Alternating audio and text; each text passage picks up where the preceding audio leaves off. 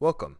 This is a short instructional video on using the ski lift technique as an adjunctive measure to your long axis view of the vessel with in-plane needle guidance.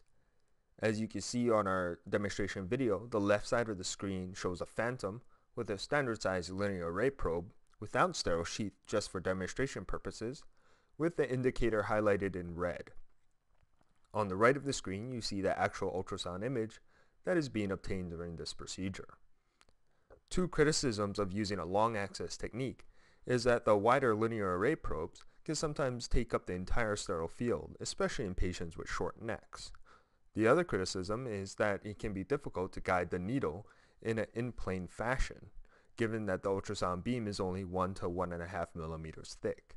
The ski lift helps alleviate both problems.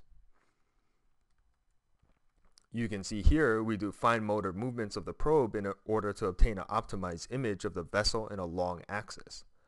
These fine motor movements can only be done if you have a low grip on the probe, as demonstrated here, along with your hand braced on the patient for stability. Once you have an optimized image, the probe can then be rocked with the portion closest to you from where you are accessing elevated off the patient. This also allows you to see the seam of the transducer, which is your marker for in-plane guidance, much easier as it is no longer contacting the patient. You can now place the needle along that seam with the tip puncturing the skin below the probe. This allows you to use the real estate that has been covered by the probe, allowing an in-plane long axis view in a patient with a short neck. In real life, please be careful to not puncture the transducer sheath with the needle. Once the skin has been punctured, the probe can then be rested back down on the needle, and at this point you can now see your needle tip in the soft tissue beneath the probe.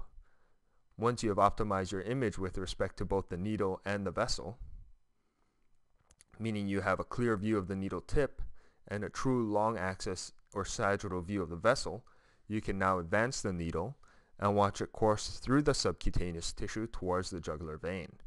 Once you have punctured that anterior wall, you can assure that your needle tip is within the central part of the lumen and not either contacting the back wall or only partially puncturing the anterior wall. You can now freely aspirate blood, confirming that you are in the vessel.